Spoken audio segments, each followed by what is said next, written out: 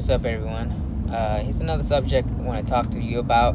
It's about how to do the right breeding, timing, and everything. First, um, I would like to say that um, for you to do this right, take responsibility into your own hands. Don't depend on your vet to uh, to do the breeding for you. Um, know everything before you go into the vet's office and what what needs to be done, what, what procedure you want done, and, and how and tell them how you want to do it and what day and timing. Um, first is um, when your female comes into heat and you see she's coming in heat, she's swelling up, she starts bleeding. You see it on first day uh, day of the heat you take her in probably two to three days after and get a, a baseline progesterone test on her. Usually, some females ovulate fast. You get some that come in two or three days early, right right around two or three days. And but for the majority, you usually take between seven to ten days uh, to get to be ready to be bred. And you take her in, and she's usually tests out a baseline of like 0.5. 0.5 is a baseline progesterone. That's something that you want to know uh, before you move on. So you don't miss the heat. And you wait after you get the baseline done. Wait maybe two days afterwards and get a another progesterone test. This uh, progesterone test either tells you one she's still baseline or two she's hitting a LH surge. An LH surge is when a female progesterone number spikes up from a 0.5 to a 2, 2.5, or 3 Usually a LH surge is between 1.5 to 3. So when you see that number, you know within the next two to three days your female will ovulate. Um, and that's when uh, you take another test. So two or three days after you take another test, she's she probably is ovulating, and an ovulation number is uh, between four and a half to five nanograms per milliliter. Now, different vet use different scales of progesterone. Some vet use nanomoles, some vet use nanograms. You got to find out which scale um, they're using so you don't miss it. Nanomoles usually is a higher number than uh, eh, than uh, nanograms per milliliter. Uh, on a 5.0 nanogram per milliliter reading, will equal to a 15.0 on a nanomole. So you got to understand progesterone numbers and what scale they're using before uh, uh, you move on because a lot of people miss the heat because they can't they don't understand the progesterone numbers and the scale or the vet is using a scale different from the breeder or, or someone that's setting the semen out for you you know? You guys got to um, communicate in that, that, that part. Um, so uh, when your female is at 5.0 the o- the opening window to breed her is two to four days um, for transcervical or uh, surgical.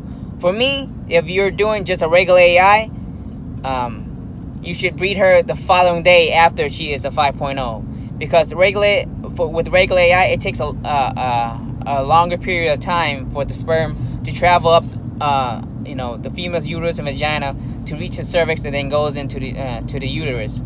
So I would inseminate a female a day after she reaches ovulation if you're gonna do regular AI.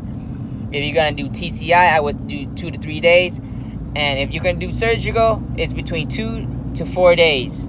Um, if you're gonna do surgical, um, and and another uh, another information I want to give you guys is when uh, should you do um, the C-section?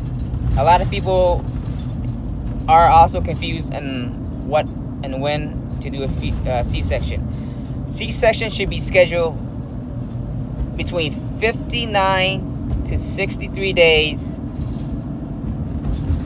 after ovulation. Not after she goes into heat, but after she ovulates. Ovulates mean the 5.0. So you count from that day that you that you did the the that you did the progesterone at 5.0. That's when she is due. 59 to 63 days at ovulation. It doesn't matter when you did the surgical. Didn't matter when you did the AI. the day that she will be due is between 59 to 63 days from ovulation. So everyone who who who keep track of their breeding should not have an issue with that. Um, they should you guys should be able to count the days. But let's say you did a breeding and you're unsure, or or, or you're unsure of the date, you forgot, and uh, and um, you don't want to cut up the female open too early. Um, what I suggest you guys do is um, between if you understand like how close she is let's say she's at 55 days or something like that, but you don't know that she's at 55, she's kind of too early. What you need to do is take a, your female's temperature within that week. Um, a normal temperature in a female is a 101. Um, anything that's you can see that she's dropping slowly, slowly, slowly, meaning she's really close. Like if you take a temperature and she's at a 100, and you take a temperature she's at a 99 you know that she's getting really, really close to uh, to getting into labor. The magic number that I always look for is anything with 99.3 or or 98.9, 98.8. That's when I know a female's real close. If she's not already in labor or she's already looking uh, to have her babies. Um, another suggestion that I have for you guys is uh, if you're unsure get a reverse progesterone test from your vet. That would actually tell you everything when um, your the, the, the female should become uh, should get into labor. Usually anything over a five um, at the end of the, the cycle is uh, she's not ready yet. Um, when she's at and when she's at a three, the number will drop when when when the the female's getting into labor. And when it becomes a three, she's gonna be really close.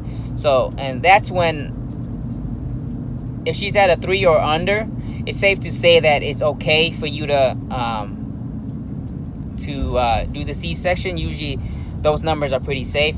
Um, usually, when they're into in labor, it's a 2.5 and under. That's when they you definitely know that you're safe, and, and you can probably see already the, the females in labor, and that's when, when uh, it's safe to do a C-section. And um, yeah, I hope my information helped you guys. But um, yeah, um, you know, I hope it answered a lot of questions. A lot of uh, uh, people have been asking the same question over and over, so I, I decided to just do this video.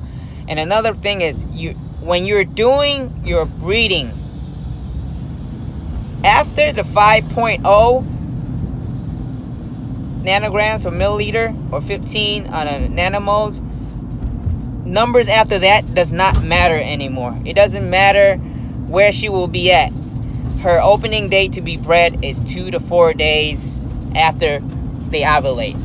She can be a 30, she can be a 40, she can be a 25, she can be a 17, two, three days later. It does not matter. Every female is different.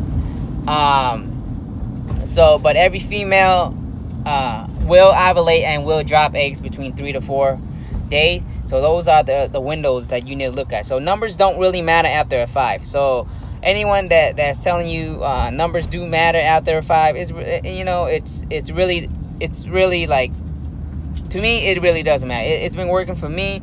Um, I've seen dogs that's tested two three days later and it's at a 40 and still um, have a litter of seven or eight. So you know, for me, it's it's been experience and stuff like that, and and numbers don't matter after a 5.0. So keep that in mind. I hope you guys have a great day and uh, keep it bully, keep it clean.